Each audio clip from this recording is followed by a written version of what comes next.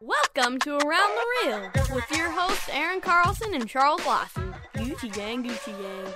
Oh, so I was saying about that last week.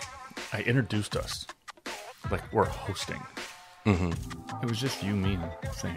Right. We didn't have like a guest, so we're not hosts. We're just two dudes talking. Yeah, but we we host the show, Well, yeah. and she can be like a guest host when she's here. Okay. You know what I mean? But- they have guest hosts in, fa- in case one of us is sick or comes up with COVID or some physical ailment like you have normally. Um, she can step in for one of us, and we can still have a show weekly. You know what I mean? Well, yeah. um, I mean that is true because we did have that conversation. It's really hard for somebody to necessarily hold everyone's interest when they're just talking because when they're just talking and they're just you know monologuing and going on and ranting and raving. I don't know, Sam. What do you think? Yeah. Shit. Okay. Well, Sam's not here today. No, she's not. She's doing some other things, and she wishes she was here, but she is not. But Chuck, we are. Good morning. Good morning. Yeah. You know what's been in my head all week? God knows. do we want? Do we need to? It's uh well, we teased him a lot, but we got him on the spot. Welcome back.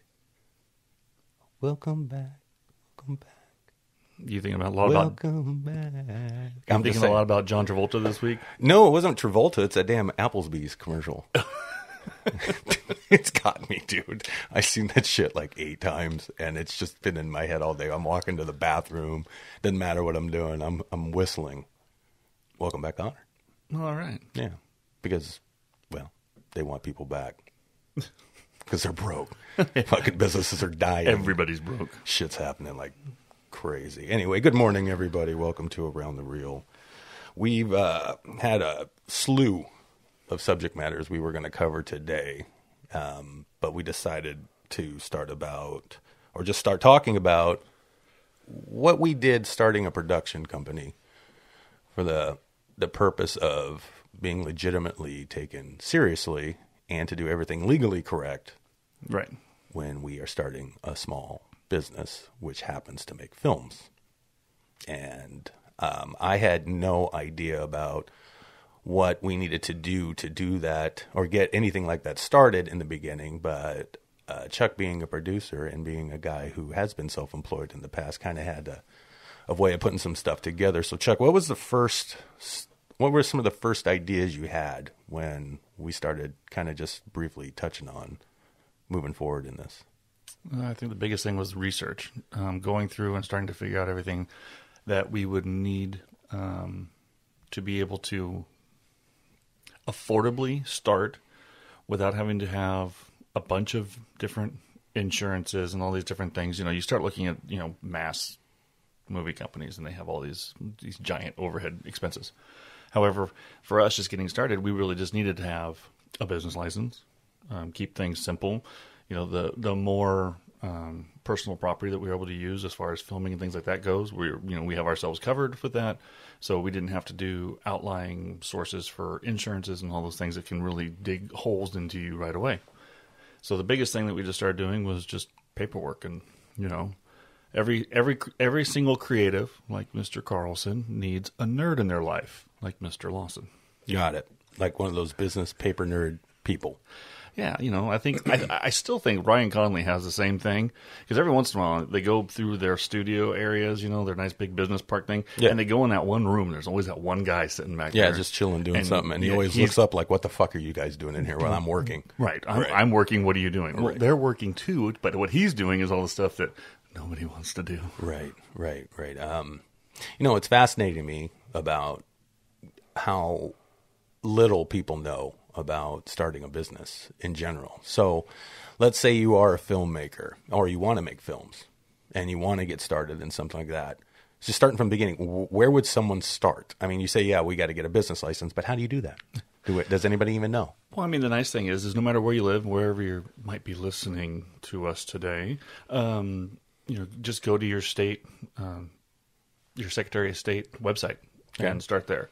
And just you know, you, it, they have tons and tons of information. I want to start up a business. I want to start up a small business, and then you have to figure out what you want to do. Like for us, for CCC Entertainment Group, we started off right now. It's a soul pop. Soul pop or sole prop? Sole prop. proprietorship. Yeah. yes. Well, it's just like wait till I start saying podcast later. I know, but soul pop is cool. Yeah. I started wanting to dance right now, like fucking, Well, you started off singing, so dancing's next.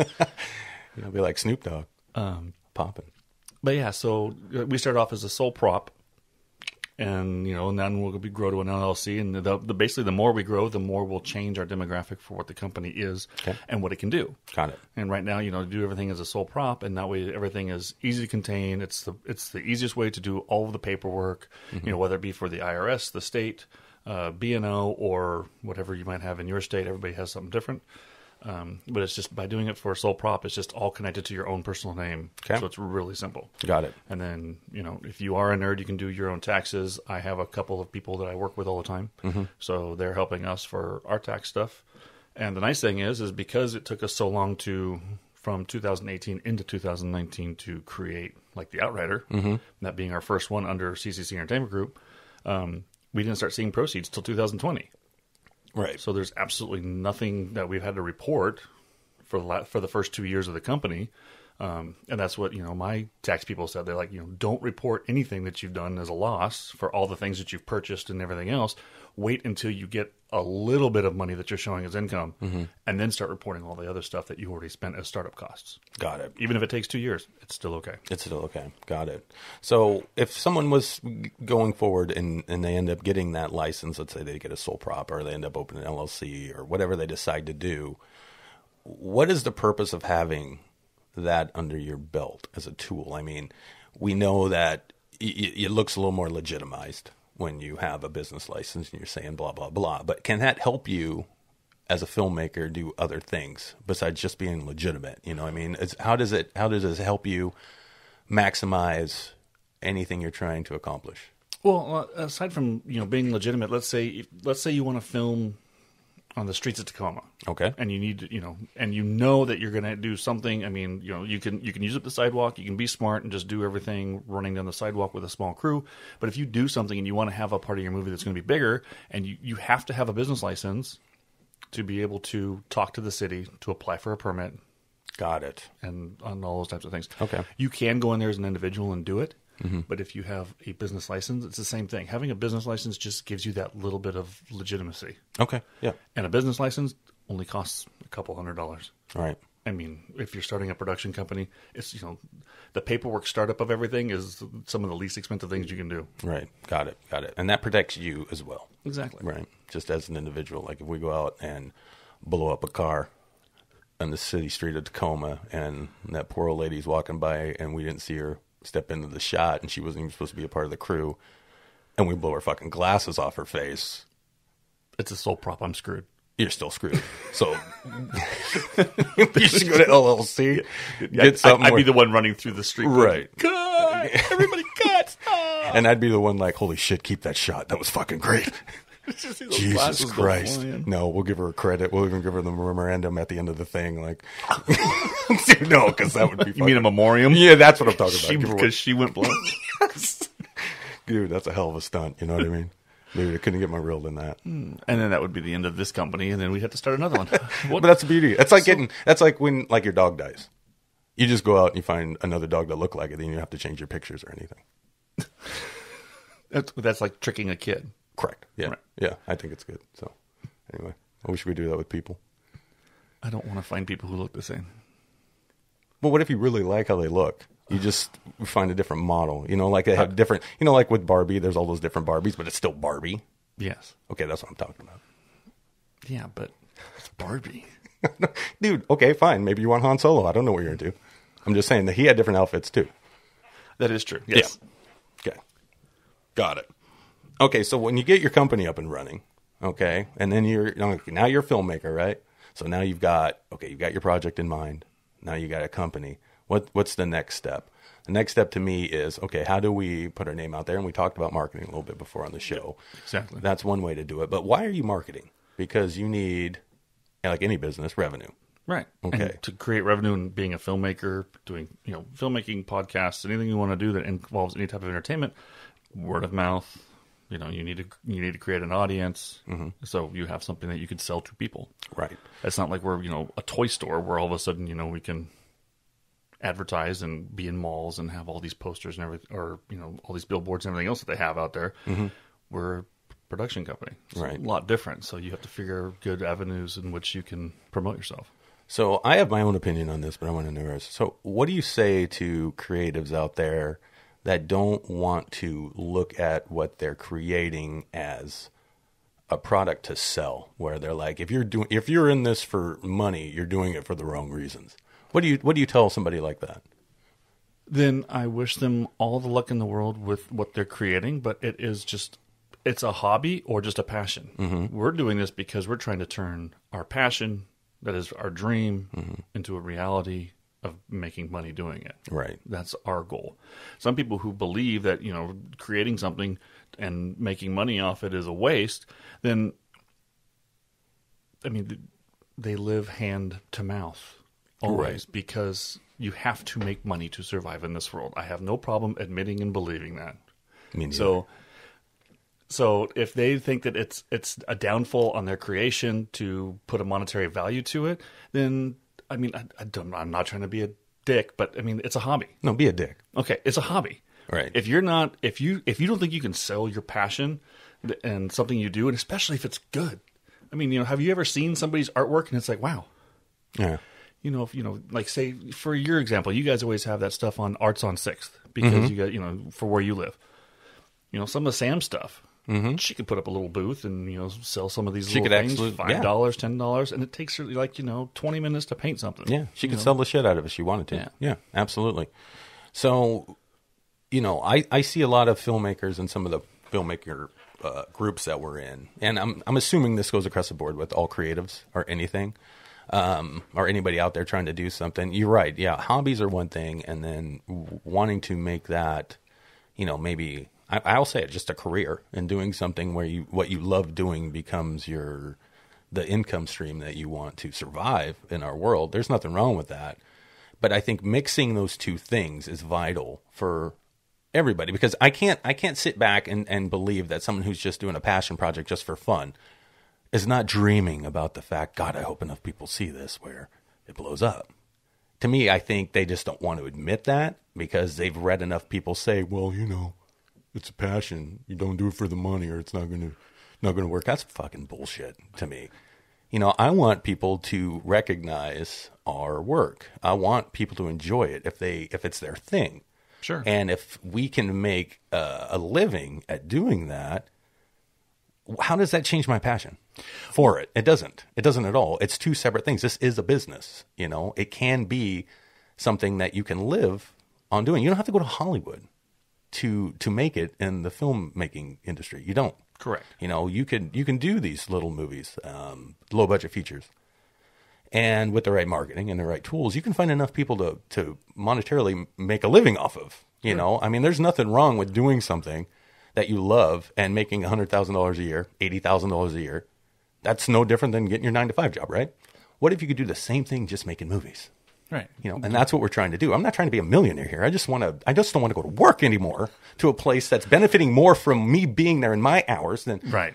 you know what I'm saying? So it's kind of like, dude, dude, if you've got a talent in something and you're really good at what you're doing and you're getting better at it as you go, why not look at it as a potential second job and try to make that your primary?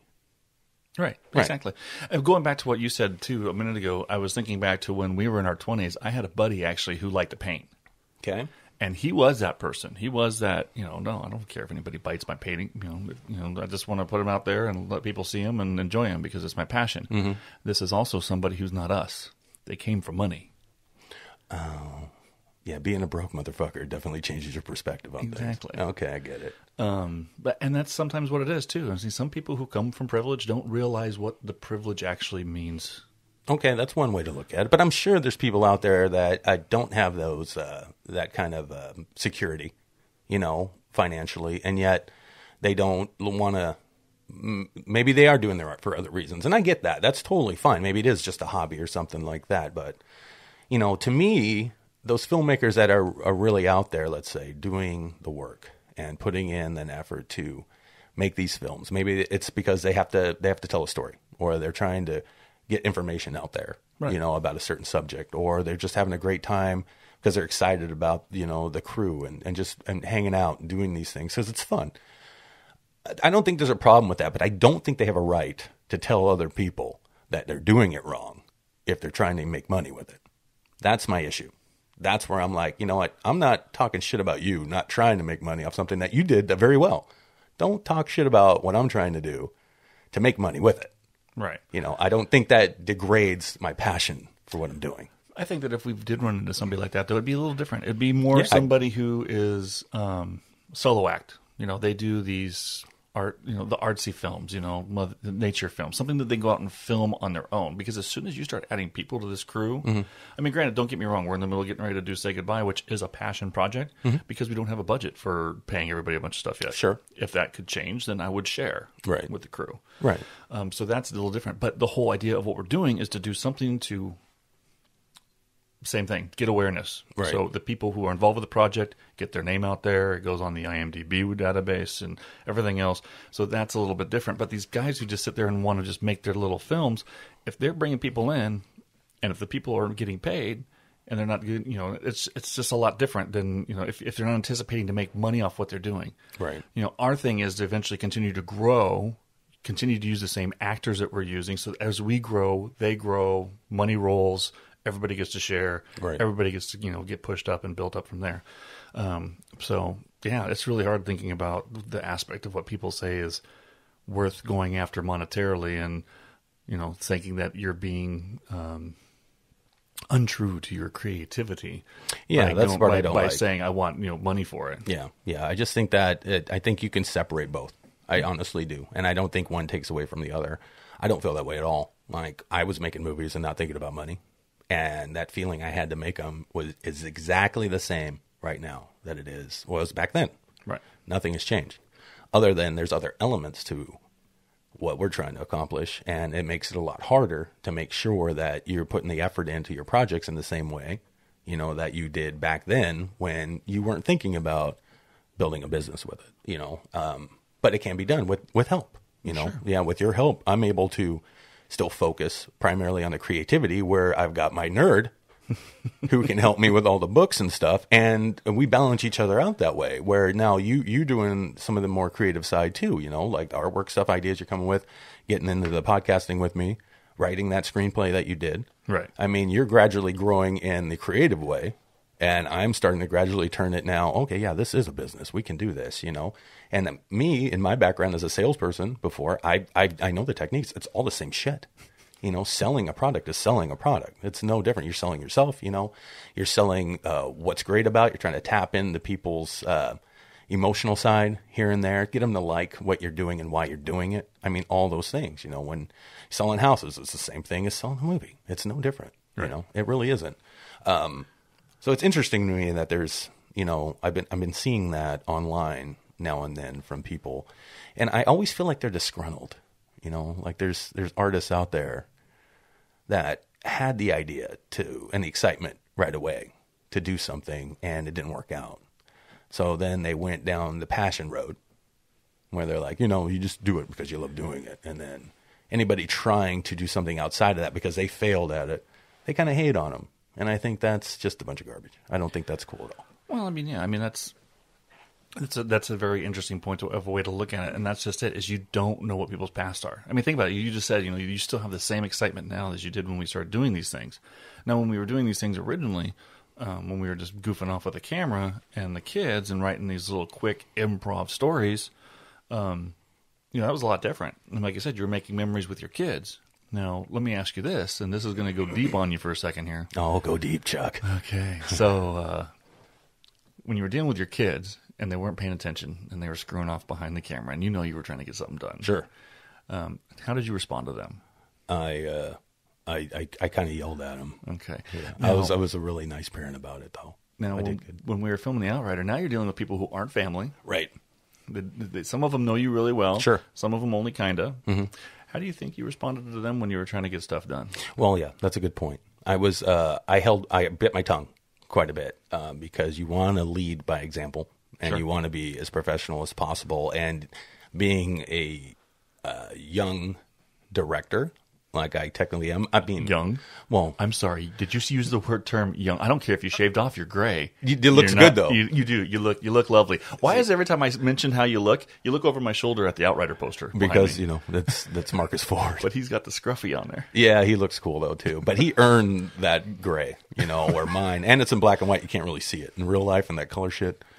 This is all fucked up. I mean, it's I don't know. I got to get used to it. But Deal, dealing with people. Sure, So yeah. What was it like dealing with people on the set, and and when you wanted to get something done, or you know, you always say that you're open and that you want to talk to people and you're open to collaborative ideas and stuff. Yeah. Um, I'm going to jump out of the Outrider for a second. I'm going to talk about something that nobody knows about except for our closest friends and family. Okay. You had a bad experience of saying, you know, when we shot the con, which was our own little teaser feature film to see if we could actually do a feature film. right, Um, you know, nothing about it is legal and all that kind of stuff, so nobody Sure. will ever see it except for us. But still, um, you had issues when it came to collaborating, I did. and it really bothered you. So has Yeah. that did that change your mindset as far as how far you're willing to go as far as collaborating wi- with off of your base idea? Yes, it did. I really learned a lot about where people do need leadership. All right, and whether I'm that guy or not is is yet to be seen. But I feel strongly about you know collaborating as a whole because the more minds you put together, the better something can get. That's just the truth about anything. Absolutely. Um, but yeah, early on when we were doing the con, that moment that you're talking about, I, I had it in me to always try to listen and to be constructive and make people happy about what we're doing, even if it wasn't their writing or their project or their idea. If they had ideas, I wanted them to be able to, you know, still pursue those things because Sure. it gets them excited about the project more. They're invested in it more, and then they'll do a better job, right? Right. So, in the scenario we're talking about, I tried to alter that scene the day of because a couple of the uh, actors weren't comfortable with the scene. Now, in my brain, my immediately was thinking to myself, You've had this script for six years.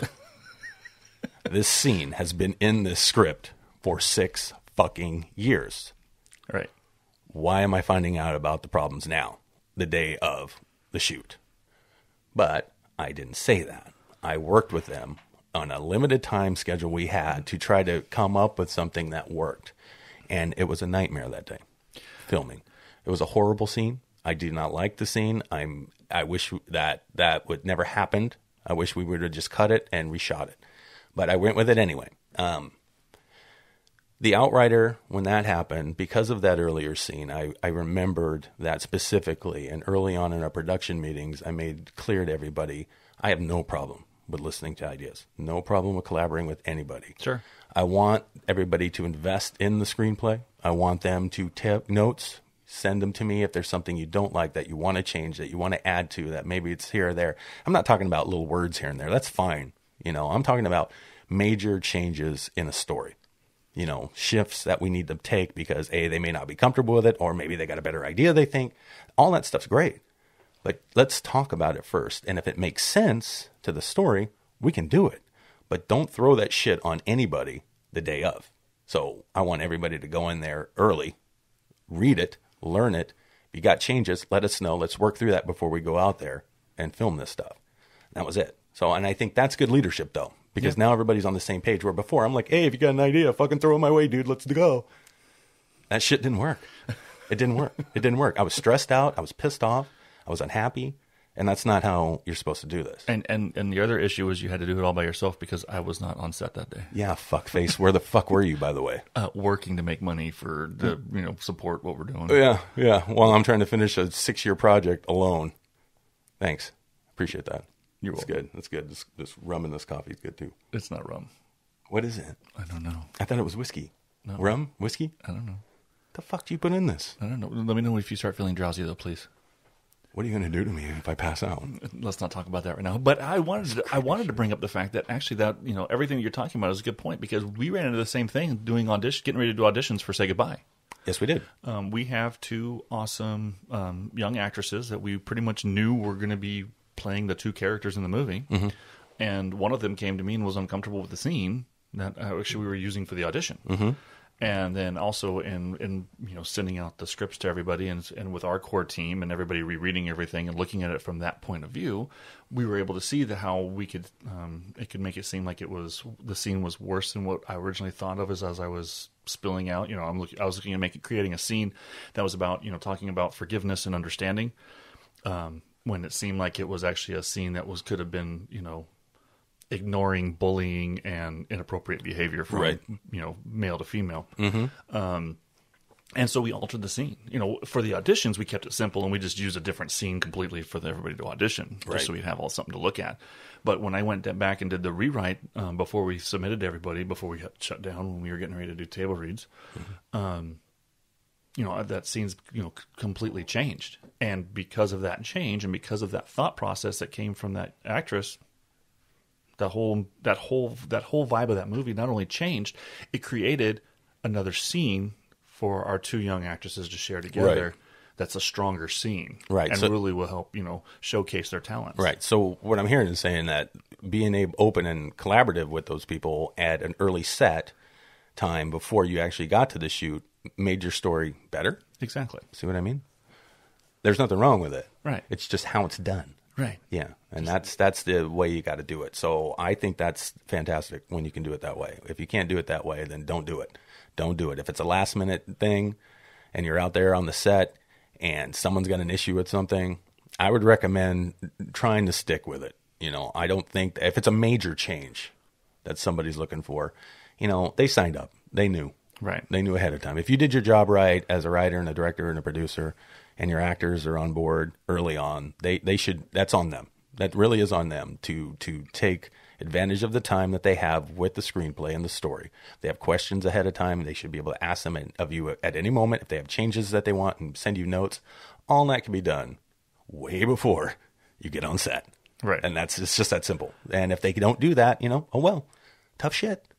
and that's one of those things too is no matter what i mean if you're set up to shoot the way you have designed mm-hmm. okay i have no problem going back we'll get everybody back out if we can't get it all both done and if we can't get both done today we've got to shoot the script now afterwards we can shoot an alternate if you want And that's a great way to do it. so you know, Absolutely. just like same thing. You know, we we did that. You know, sometimes when we have little co- you know comedic relief in our movies, Mm-hmm.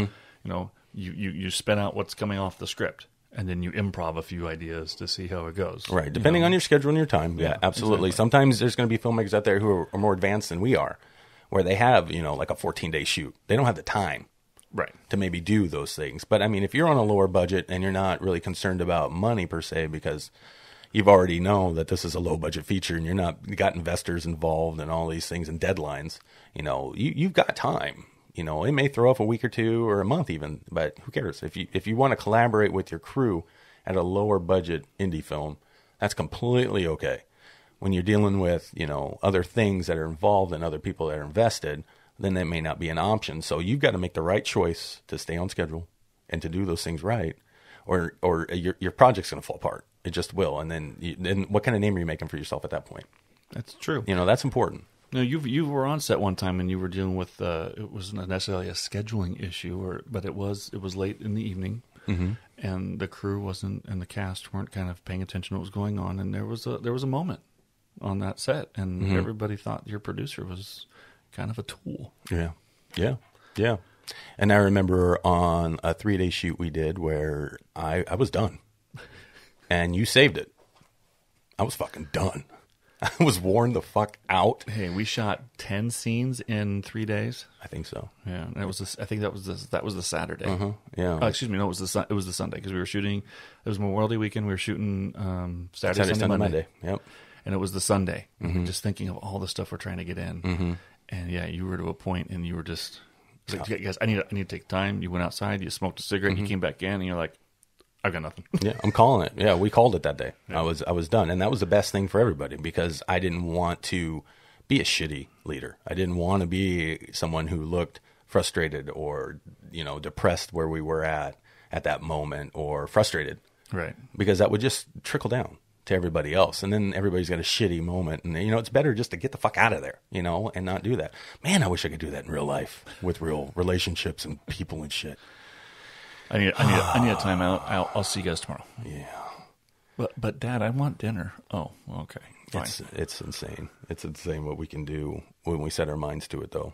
You know, why can't we do that in our personal lives as well? We can do professionally. What makes a job or something you're working towards to create so much different than like doing something outside the box? You know what I mean? Why why do we bite our lip? If I'm at work and I'm dealing in customer service and some prick comes in and they've got this major attitude because they're pissed off about something, how is it that I'm able to go, well, sir, you know, I'm really apologize for, you know, the inconveniences you're having. And I'm really, really sorry to hear about, you know, this thing's not working out and the help's not being provided that you, that you want. Um, but I'm here for you and I'm not trying to be any more of a nuisance to you than you've already dealt with with said company. Right. So you, you try to balance all this shit out and look PC when in your head, you're like this motherfucker of what if in real life I saw this prick. You know what I mean? But then you're in real life and someone approaches you the same way. Like, hey bro, hey, you're a sheep, man, with your mask on. right? right. My impulse, because I'm not on the clock, is I will beat your fucking ass with your fucking garbage. Get the fuck out of my face. You know, that's what I'm thinking. And I will sometimes react that way.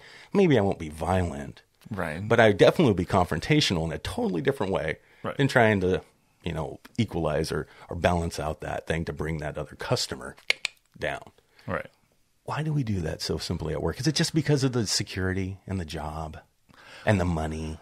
Well, I mean, What, what's happened to our dignity? You know, well, why can't we keep our dignity? why is it you always fucking work? Why is it every time you think you're compromising to something, you're sacrificing your dignity or your pride? Because it's true. Not necessarily. How do you figure? Well, well, here, let's take for example. I wasn't on the clock the other day. Yeah. You, you made the comment about the sheep. I walked out of a store. Right. A guy yelled sheep at me. what did I? I mean, and you know what? I was. He said it. I snapped off my mask. I was mad. Right. And I turned around and I looked at him like I was probably going to kill him. Right. But I yelled, "Yes, Jesus is my shepherd. Right. Have a blessed day." Right. And I stared at him as he closed his door, backed his truck out, and drove away in his broke ass Ford. Right. Well, that's the thing about religion, though. You're always on the clock, Chuck. You understand? Well, here's here's another, here's another thing you said. I'm, I'm sorry, I, f- I forgot exactly what you said, but you said something about being concerned and how some and being able to help somebody today. Mm-hmm. So you automatically turn that way when it comes to somebody who's struggling, like say, you know, for for work, for customer service. But it's not natural. When, but when was the last time you ever said something like that to like Sam? I mean, I can't. Think That's of, what I'm saying. I can't think of a time I looked to Amber and said, "What can I do to help you today?" you know, sometimes sometimes we do though. You know, and it depends on your mood. But at work, when that happens, my mood is immediately sour because I don't want to be there fucking anyway. Okay, I want to be in my relationship with Sam. That's a beautiful, fun thing. Jesus, I did the hat thing like you It's did. a- yeah, I know. Um, you know what I mean? But you know why? How how do do you have such a, a control at the office or at that job wherever you work that you're able to override your fucking mouth and and and still be like you know PC about everything. Where at home, if you're not in the mood, you'll trip. That's the interesting part to me. It's like you, you think it'd be just the opposite. Like people should expect when they walk into a place of business and they get an attitude as a customer that that other employee that's working there should be able to cuss them out for acting that way. Right. You know, that's how I look at it. I'm like, I should walk. I would love that, by the way. If I walked into a place, I'm like, I want my motherfucking shit right now. This is bullshit. I've called 8,000 people and no one's giving me a fucking answer. And blah, blah, blah, blah, blah, blah. I want your manager right now. That person should look at me and go, you know what? Why don't you get the fuck out of here and come back with a better attitude? Maybe I'll talk to you. Yeah, that's. I think that's how they do it in New York. I love New York. I love the East Coast, dude. I love them. I do. They love them. You know, get the fuck out of here. You know what I mean? That's fucking cool shit. That's the way it should be. I hate living over here sometimes. Everybody's so fucking. you can't talk about stuff. I'm like, fuck. it drives me nuts, dude.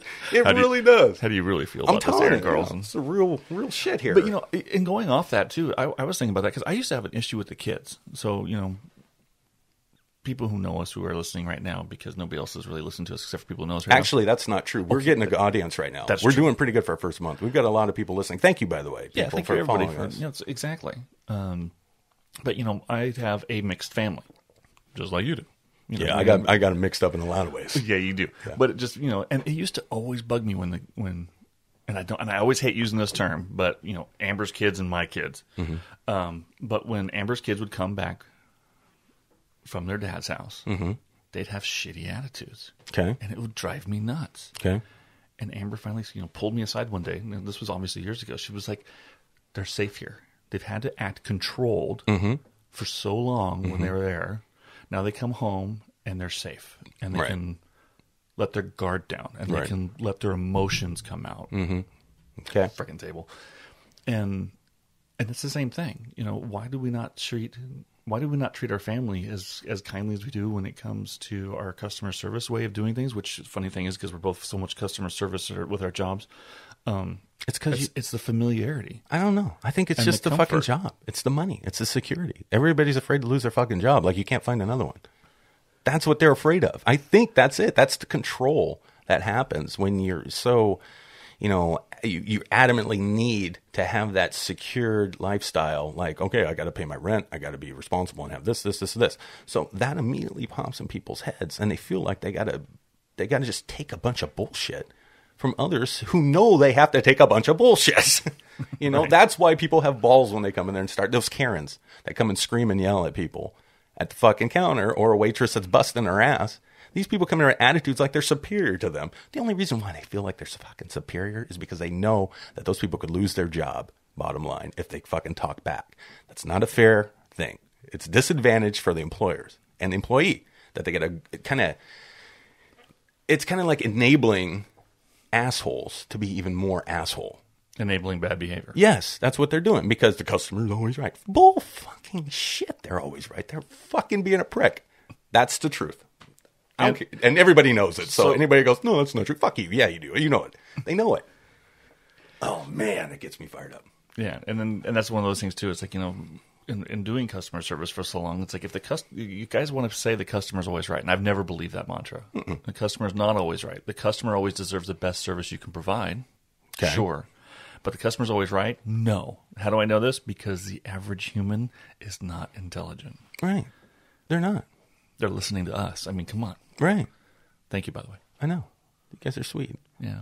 I love you. all you. Thank yeah. you. Thank Oh, you so much for tuning in, and we're not going anywhere. So, Yeah. if you're offended, sorry, and if you're not, keep laughing. Yeah, it's not about offending anybody. I mean, I just think that uh, that that situation and being a person. So if if if you're on set, okay, and you and you've got that attitude, yes, we got to be a leader. Everybody says be the better person, you know, and I get that philosophy. There's nothing wrong with that. In fact, if you can keep your mouth shut, you are being the better person. Kind of like what you said, you know, well, Jesus loves me and the sheep and the flock and all that shit. You said all that, you know, being a better person. And you get props for that from not only Christian people, but, you know, good hearted people know what you were doing. You know, and I see it. I'm not going to say that's not a, the right way to respond. But you know what? There's this, that's this, that primal thing inside that I think everybody has. And they think it and they want to do it, but they don't. And I think there's a balance there that you could still be, you know, nice about it, but you can still be a dick about it too. And you can, you can, if you're smart about it, you can put both of those things out there. It's like Bruce Lee said, the fight, you know, the art of fighting without fighting. Right. You know, there's a way to do it. You just have to be smart enough to realize what what what um, instinctual things you have inside you that you can combine to like throw this, you know, Shinryuken like a fucking Street Fighter at him. you know, you can do it. It can be done. You got to practice. Sometimes you're going to be blunt and say shit and piss him off and be like, oh god, I can't call that guy a cocksucker because I'm at work right now. And you slip up and you say it. Okay, you get in trouble. Whatever. Okay, fine. But you don't have to be like, sir, I'm so sorry about your situation. I will do better next time and try not to upset. You know, you don't need to be that stupid about it either. I mean, you got to have a spine. You got to have a spine. Sure. In my opinion. Um, But which again- should mean a lot to everybody. But then again, also being somebody who's always had a spine and always, like I said, you know, my mom commented on my post, and I'm like, Mom, 45 years old. Yeah. You of all people should know me by now. If somebody's going to yell something stupid, I'm not going to just sit there and cower Right. or turn around. Yeah. Now I didn't go over and rip the door off his truck. No. But I looked like I was going to. Yeah. Well, how do you want that character in that situation in the movie to react, though? That's the beauty of film. See, right? that's what I don't know because that's one of those things too. Because it's like you know, I am a person, a person of bigger stature, as far as you're, like, you're a large man. Okay, yeah. Um, so I think that if I if I wrote a post about somebody who was bullying somebody, Mm-hmm. and me going in there and teaching the bully with violence, Mm-hmm.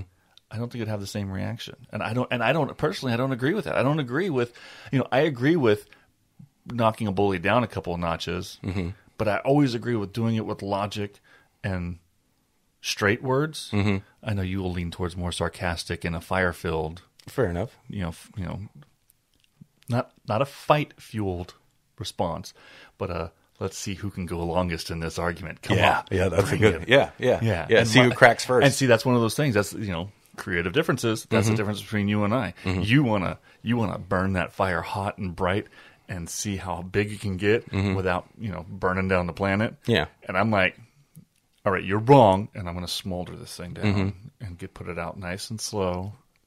which a lot of people want to do. Right. Right. I fight it the fire with fire. You know, it goes back to our story Yeah. from last week. Well, well, you think about it. Smoldering you, you know, embracing Yeah, you, embracing me and stuff, and it. and, yeah. and cooling you off. That, Yeah. was, that was a lot of heat, by the way. Yeah, that was. A, I mean, it's it could work. I get it. It's just how do you stop that mentality of a bully? Let's say like that. You know, you're right. When a customer comes in to a place of business and they have that bully mentality, like they're going to go in there and just fucking because they're angry or frustrated about their day, and they take it out on some poor checkout clerk. You know, that's bullying, Sure. right? In Karate Kid, Daniel-san stood up to that bully, and not with words. He still confronted him and fought him fairly. He fought fire with fire. He just had a different technique of fighting, Okay. right? And he won. He didn't. He, in a real fight, Johnny would have kicked his ass, right? It's not like Ralph Macchio's character had enough skills to beat up Johnny. Johnny was anger, ready to go fight, like street fighting wise. He would have been out of the park. And I haven't seen the new stuff yet. I need to watch that. By That's the way. true. I haven't either. Um, but the old film, you know, that's the way it was. So, you know, they, they made it a structured fight where he could beat him by points. Perfect. He gained the respect, though, right? right. Then there's other movies where the bullies really get taken down in a really fun way by getting shot up or their ass blown to pieces. And that kind of stuff, you're like, yeah, get them because they built that story that way. So if you got somebody, let's say like Trump, who's a bully, and everybody's been trying to fight this guy in the most PC way, you know, and holding on to their morality and their humanity and whatnot. That doesn't beat a guy like Trump. It doesn't. The only way you get ruffles, feathers from Trump is when you play his game.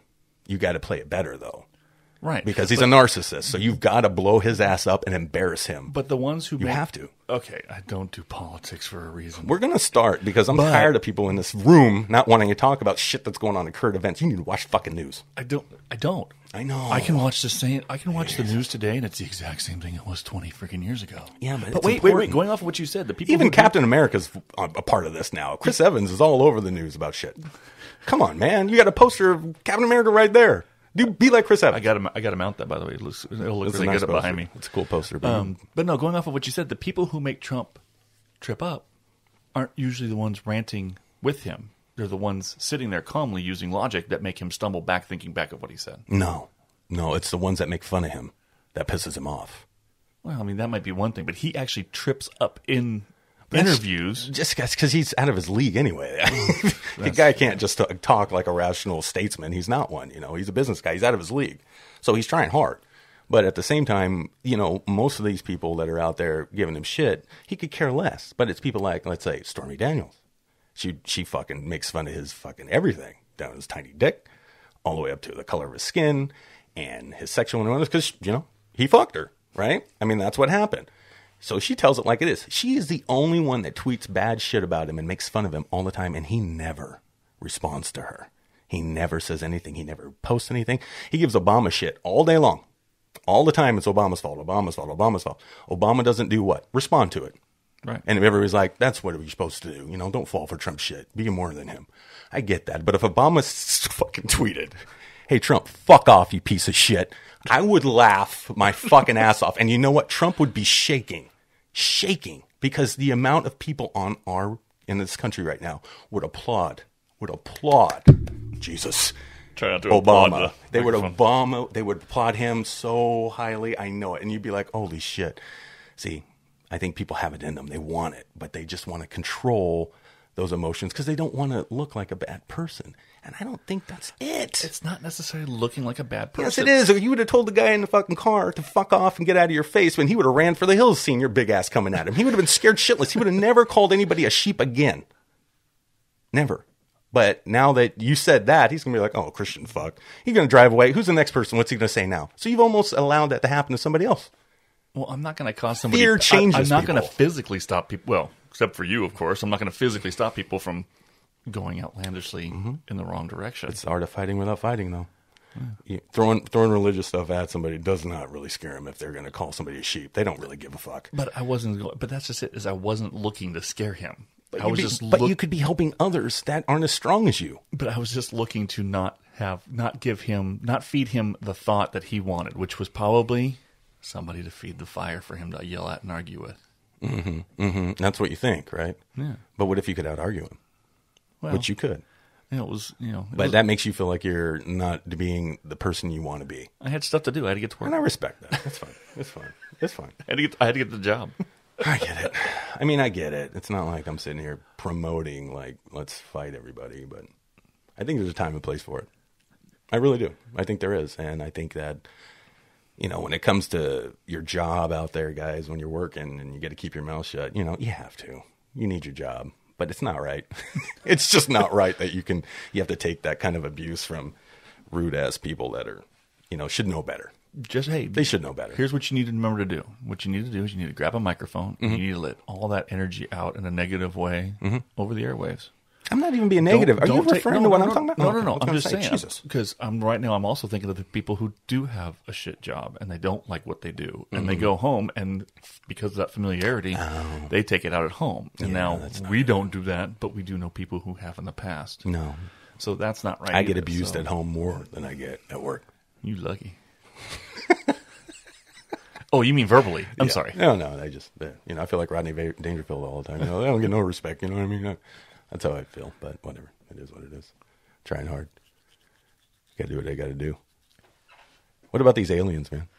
You know Al- oh my it? gosh! You know what? I'm almost convinced to to get out of religion, Christianity, completely, and go with the whole aspect that, you know, the whole um, these ancient um, aliens. You know, everything came Mm-hmm. from extraterrestrials. All of our knowledge and all of our jumps in creativity and Mm-hmm. technology and all these things are because you know.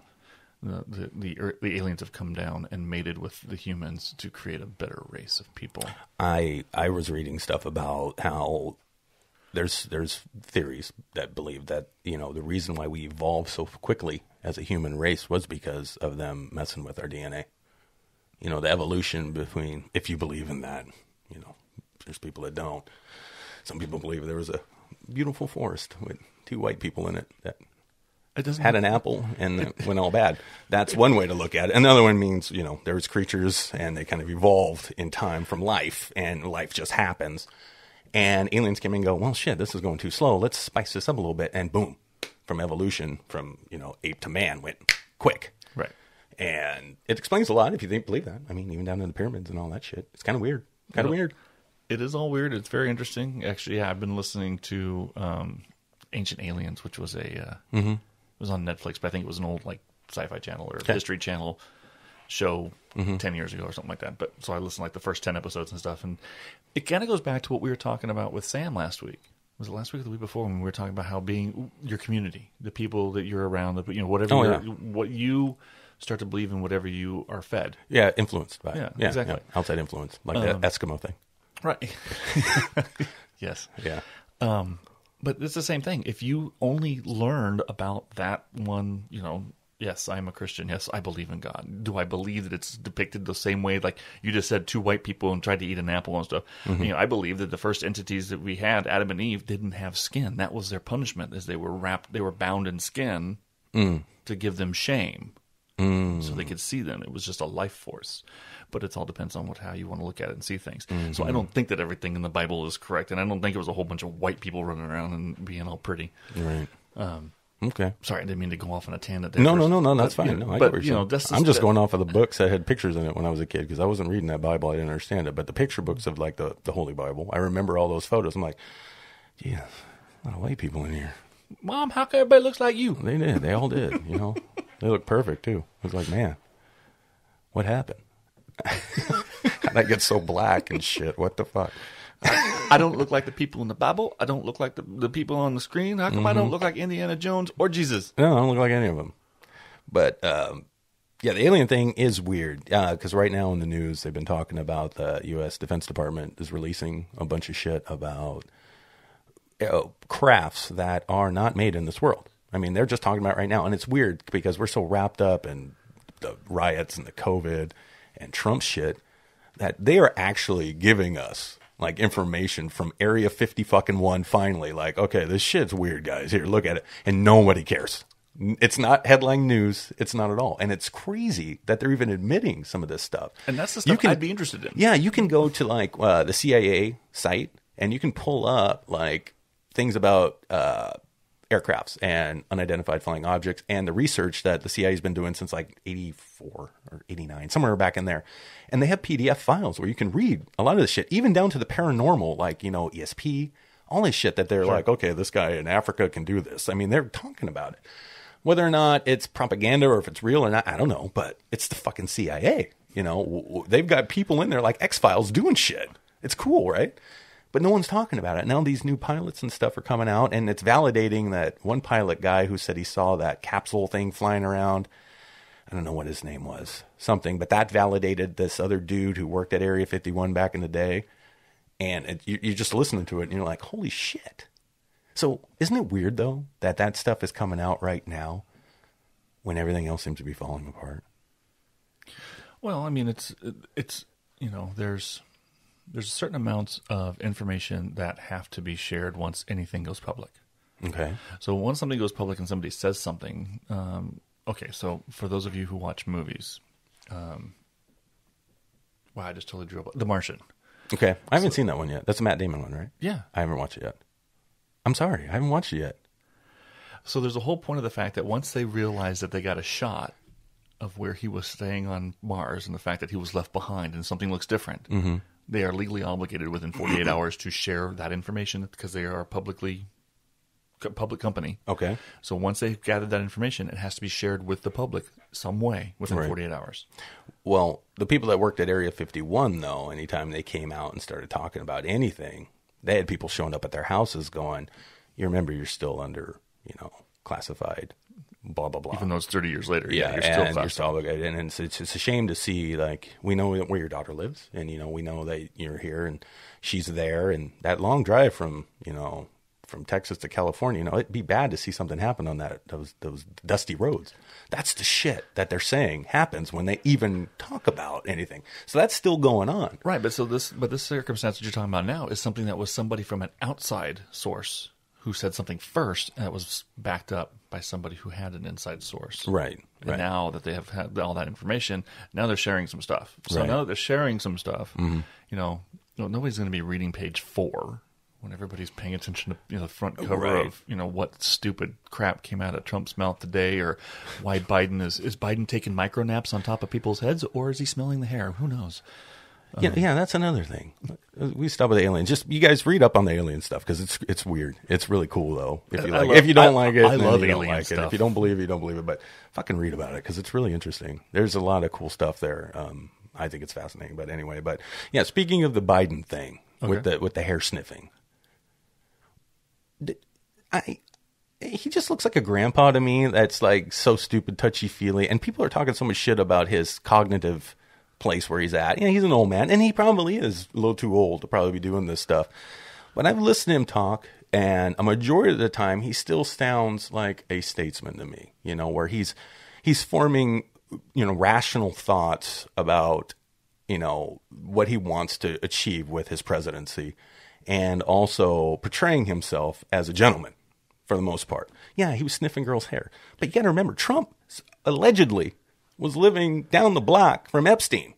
Okay, there's there's shots of him with Epstein all the time, and that uh, whatever Maxwell chick with that whole conspiracy about the fucking fuck island stuff where they were going, you know. And it's like, dude, there's there's reports of Trump having like parties with him and Epstein with 28 other girls. What the fuck do you think Trump was doing? There's alleged women all over the board that have attacked him for saying, or I shouldn't say attacked him, that say that you know Accused was him. yeah of, of of sexual wrongdoings. Okay, It doesn't take a fucking rocket scientist here to realize that this guy's a dirtbag when it comes to his sexual escapades. His wife, the first lady, was pregnant with their son when he was fucking Stormy Daniels. He got her to shut up. She did an NDA. She said, "Fuck you. I'm going to say it anyway." They sued. They, they, how that court thing fell out was irrelevant because he lied about it like any other fucking douchebag would that got caught. And people still look over that and they believe when he's standing outside of a church holding a Bible, he's reborn. That motherfucker is not reborn. He is playing people. I- Biden is not playing anybody. I still don't think he was holding the Bible. I think he grabbed a hymnal because he, he's never been there before. He didn't know he was grabbing. Well, he couldn't grab anything holy. The shit would burn up. He'd burn up. He'd burst into flames. That But- is that is a different type of book. But I mean, that's the whole thing. Is everybody who jumps on now? I'm not a Trump supporter. I'm not a Biden supporter. I'm not actually very much into Totally this race right now Yeah. Um, because you know everybody acts surprised when somebody says something stupid or somebody lies. Well, guess what? Here tonight on the news: a liar told a liar a lie, and they lied to a bunch of people. And now your news broadcast, who lies to people, is telling you the lies about what really happened, even though it's a lie. Yeah, but doesn't that insult your intelligence when they're all lying like that? Don't you want to find out what's going on? No, I just don't want to talk about it anymore Why? because of the, because it's But the that's what they want you to do. from from Bush to Clinton to Bush to you know, it doesn't matter. Right. If you are a person who's going into politics, your job is going to be to lie. Well, your job is going to initially start out probably with being, you know, I'm going to make change. And you believe it. And then when you get the job, they go, you can't do any of that shit. And you're like, why? And then they show you all this stuff. And you're like, holy shit, I can't do anything. You know what I mean? Right. I can totally see that happening where their agenda has to shift because they had no idea what the office of the president involves, you know, and who really has control, you know, if it's one, you know, person as the president or if it's a multitude of different things. I mean, we don't know how this world really functions, right? We don't. They, we, we just go what we think. But there's always common sense.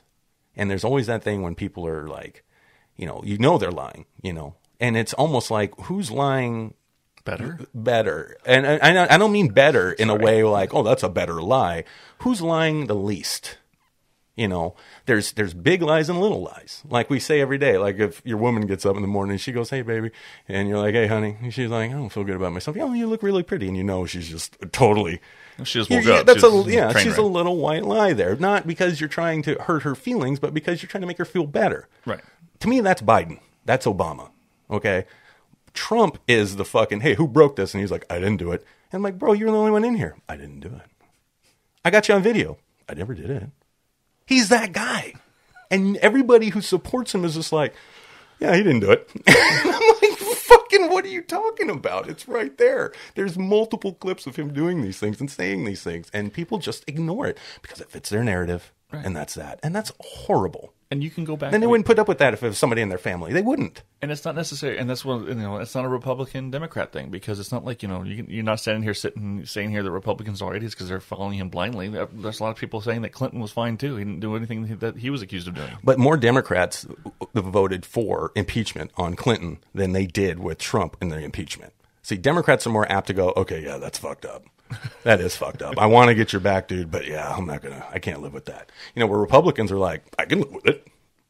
It never happened, and they tell themselves this, and then they get other people who have that kind of rationale to believe it.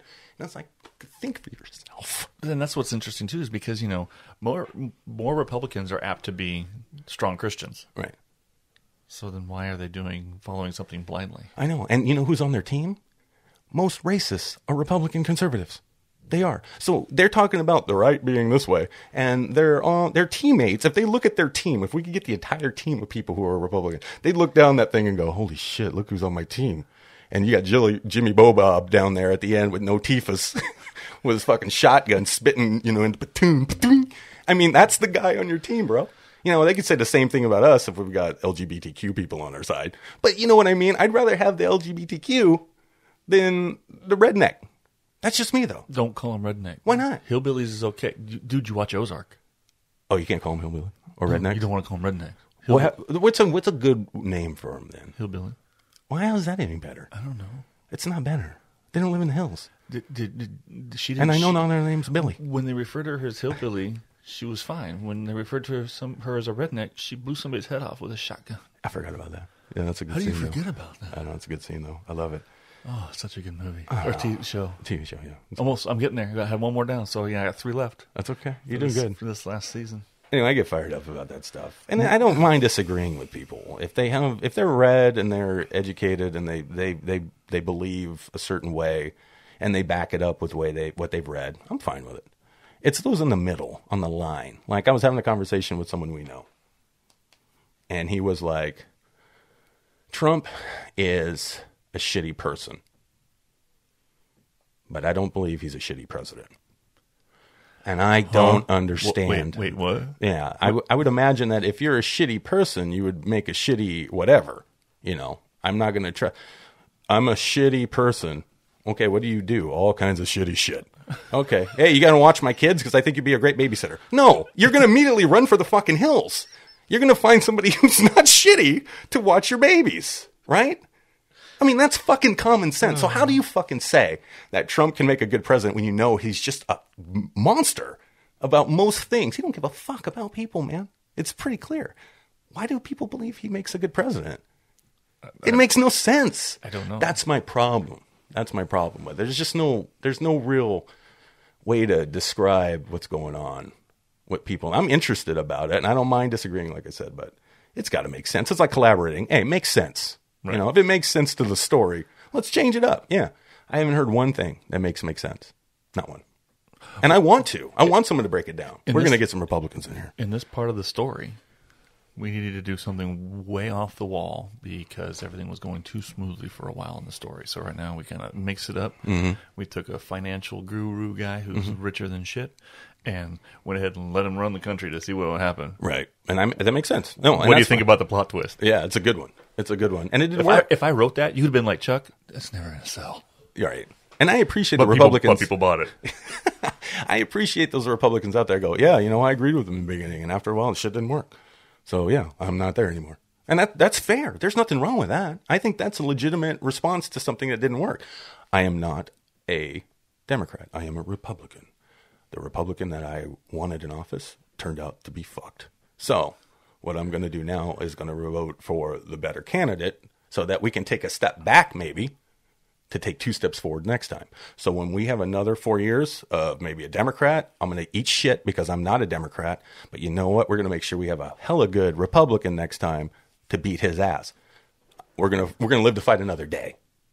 There's nothing wrong with that because I have no problem with a, a, a Republican president in office if he's an honorable person, if he is genuinely overly concerned about the well being of a majority, not all, but at least a majority of the people. That's what takes a leader, right? That's all I'm saying. Trump don't care about anybody but his own ass. That's pretty clear. So people lying to themselves to think he cares is my problem. It's like, how do you even say that? Well, you, you know, look at the job market. What job market? It's gone now. well, that's not his fault. The Democrats are lying about COVID. People are dying. Yeah, but it's all fake news because they got hit by cars, but they had COVID in their system. So now they're saying that the, the car crash caused the it, it was COVID. I'm like, they still had COVID, motherfucker. you know, what if what if his immune system wasn't? What if he was stronger if he didn't have COVID, and the the trauma wouldn't have killed him, but because he had COVID, it killed him. Right. You know, you don't know. I'm not a doctor, but it's like, fuck, man. Hey, I ain't gonna lie. I wore my mask less until I heard from a guy I grew up with in California. You know, we, Mm-hmm. were, we grew up as kids. You know, he lived on, we lived on the same block before we moved away, and him and his I think it was him and his daughter both had it. It wasn't horrific. Mm-hmm. They, they they had it. They healed. You know, they lost taste, they lost smell, and all that stuff for a few days. Oh yeah, you were just telling me. It wasn't. that. Yeah, it wasn't some. It wasn't a political ploy. It wasn't some line of BS. They got sick. He, he got sick. He he talked about it afterwards. right. And so I was like, wow, you know, that's, that's but that was the first time that somebody close to me that I knew personally Mm-hmm. had an experience with it. It made it more real. So it more it made everything more real. Okay, So yeah, I get that. I'm not a sheep. You're God- not a sheep. God bless you. You're not a sheep. Well, you are. Have a bless, Aaron. Have a blessed day. Yeah, I'm a great fucking day. I am. All right. Okay, so we talked about some things today. We We really, we really got away from the whole okay, creation of but- the CCC Entertainment Group. Well, we're trying to be, uh, you know, abide to the mass majority of people. You know, we want to talk to creatives. We also want to entertain people and talk about shit that's going on that that's really affecting everybody right now. So, filmmakers are important. You know, uh, all creatives, artists. That's what we're trying to do. We're giving you little things here and there, little tidbits, hopefully, to help you out. Oh wait, yeah. I mean, you sound like you're wrapping up because you keep looking at your notes to see what all we talked about. No, no, but I'm I'm just looking at the clock too. Look at it. Who cares about the clock? Oh fuck, we look have stuff you. to talk about. What else you got? Well, you know, you were on another podcast. I want to know what was like. What was the experience like Oh, doing something yeah. that wasn't us? Oh, thank you. you. were on uh, Black and a Half with Silas and Samantha. Yes, yeah, Samantha Run and, and Silas Lindstein. Um, yeah, it's a Seattle-based podcast. We were, I was uh, lucky enough to get on it, and you know, it was first time I was on someone else's show, so it was kind of weird Right. being on someone else's show because my immediate thought was, I'm going to go in there and be me. You know, I'm going to talk a lot of shit. It's going to be fun, and yeah, and then you get in the room and you're kind of like, well, I don't want to offend anybody. you know, so I, I tried my best to still be me, but I dumbed it down. You know, kind of like at work A little. you bit, know, when you're at your job. I did the same thing there because I didn't want to be disrespectful of their format and everything. But it was fun talking with them about a lot of, you know, filmmaking stuff, the origin story that we had starting out, and just the way they did their format was was interesting, and I had a good time. It was fun. Yeah, Good. Black and a half. Good, good. Yeah, they did great. I really appreciate them. Hopefully, we can get them on the show one day too because they're they're they're good people. Did you notice the episode? It was one eleven. Yeah, I know it's like eleven eleven almost. yeah. Yeah, It's like and you, you, and you always looking at your clock. eleven eleven. Take a picture, Chuck. Huh. Look what time it is. I do Well, by the time I get the picture, it's eleven. It's one thirteen. Yeah. But still, I immediately look at the clock. Five days, six days out of the week at eleven eleven, I send Samantha uh, a little bubble text, so she knows that I saw it. She does the same thing to me too. It's weird. Weird. You know that means uh, you, you're you're everything you're doing is on you're on the right path. it's right? yeah. Everything is in line. yeah, for you. in line. See, I know what I'm doing. So every morning I wake up at four thirty-seven in the morning. What's that mean? I don't know. You need to look that shit up. Four thirty-seven. Yeah, four it could be four plus bad. three equals seven. It could be at the point where my eleven eleven is what's keeping you in line because of the four thirty seven. Like four thirty seven could be some really bad shit, and maybe eleven eleven's holding you steady until you figure out why you can't get to four thirty eight or four thirty nine, maybe. Well, no, I'm on, I'm in the shower by four thirty-nine. Mm-hmm. Okay. but no, if and, and, and no offense to you, but if something's going to hold me up, Mm-hmm. it's not going to be your hand. That's true. I can't even cup You you. I, I- can't I- even cup you with my I hand. I need both hands. appreciate hands. the thought. Yeah. Can you imagine trying to cup you? I'd have both hands right there. Heavy, heavy. I'd have to do a good, like, I got to do some bicep You curls for a swoop, couple you months. Swoop a little lower if you're going to pick them up. really low, right? And it's a, it's a long way up too because you're you're a tall guy, so I'd have to fucking you know just get him up there and hold him, and there'd be a lot. Some would be spilling over the sides, but I I try hard, man. I'd get you I appreciate I appreciate that. You know, Yeah. I'm glad to know you got my back. Yeah. or my balls. front. balls. Oh, Yeah, okay. yeah, we can throw them over your shoulder too. You can just carry them that way. It's getting, definitely- it's getting- definitely not gonna help Getting older is not fun. I know. Well, I don't have that problem. Like I said, you have more ailments than I do. I don't know if that's an ailment, but okay. Yeah, yeah, swinging balls could be an ailment. you know, you got to tighten that shit up a little bit. I'll- I'll do some curls. what do you want me to do? I'll take. I will take. I will actively take. If anybody who listens to this podcast and sees us on Facebook, Instagram, or Snapchat, if anybody has some ideas on how to tighten that up, mm-hmm. if there is a physical workout, not a joke, but a physical workout that would work, I am all ears. Now, I, I do know that people say like Kegel type exercises, like women do, to tighten up themselves. Yeah, You know, that's something that's possible too. I'm doing them right now. And I always do them. It doesn't do anything. It feels good. It, well, It tingles. unless you have to pee, then it's like I gotta go. I don't gotta go. No, I gotta go. I it still gotta go. tingles. I don't have to pee right now, and it tingles. Oh. Male kegels. I'm still doing it. Why am I looking at you all serious? See what I'm doing? Why- I was gonna say, why are you making such intense eye contact while you're doing your It- it's, just automatic. It happens. All right. Well, Some water here. August is coming good. up. Yeah, August is coming up. We're going to be uh, scheduling some guests here, and we've got a, a good list of people. I think that we're going to be bringing on. Some remotely, some maybe be in the studio here too. We're going to make sure we give them COVID tests. You know how we do that? Yeah, we just ask them if they can spell it. No, you drip. You you you, You drip? No, you take some of their blood, you put it in a petri dish, and you get a hot needle, and you put it in the.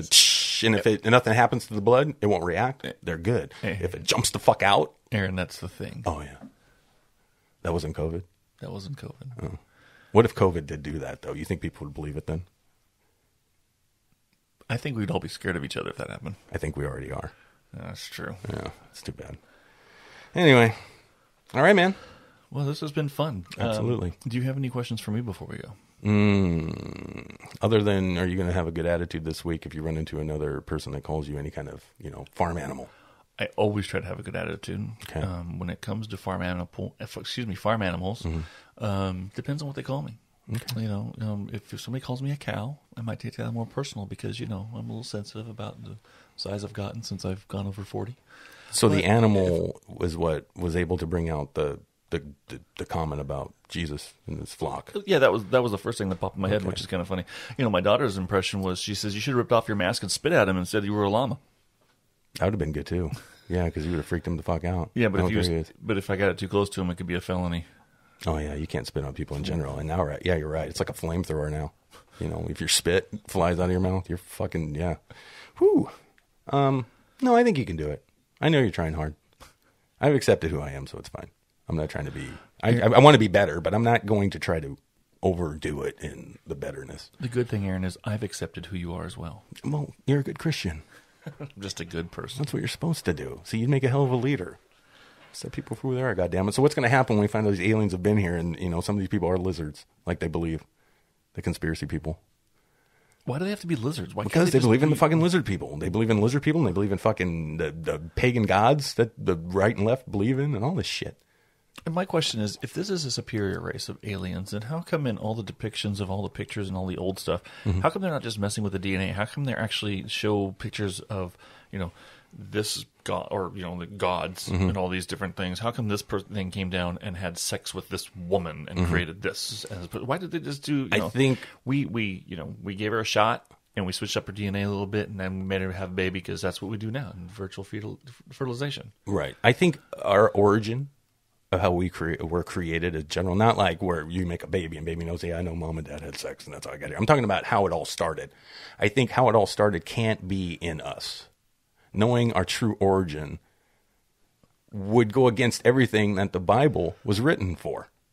You know what I mean? If you think about it, like if you were okay and knew how you started, that would be it.